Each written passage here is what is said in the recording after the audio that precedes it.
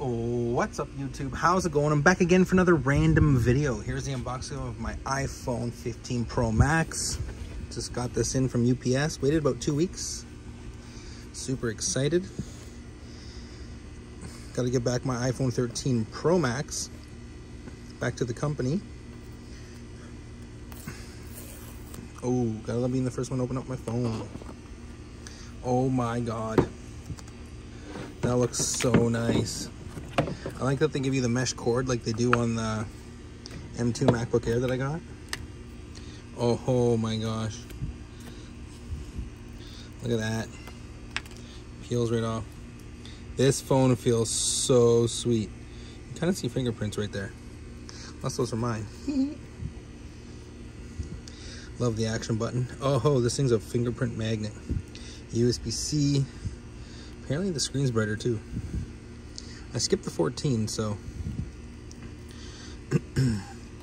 it's gonna ask me to transfer all my data, which is nice. You just hold it up to my existing iPhone, everything transfers right over, easy peasy. Not like before you had to write everything down, like your notes, your contacts, everything. Love the screen here compared to the old notch that dips down. I know I'm two years behind. They did this a year ago, but still nice. I'm curious to know how bright the screen is. Oh. Sweet. Like the size of the screen. Oh, that's cool. Anyways, yeah, so there you go.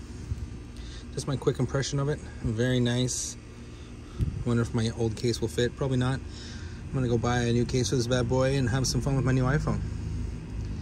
Thanks so much guys for watching. Please like and subscribe for more random videos as I try to upload not so often. And hopefully you enjoyed my unboxing of this new iPhone. Sucks it doesn't come with a brick though, but I got plenty of those. I'll talk to you real soon. Bye for now.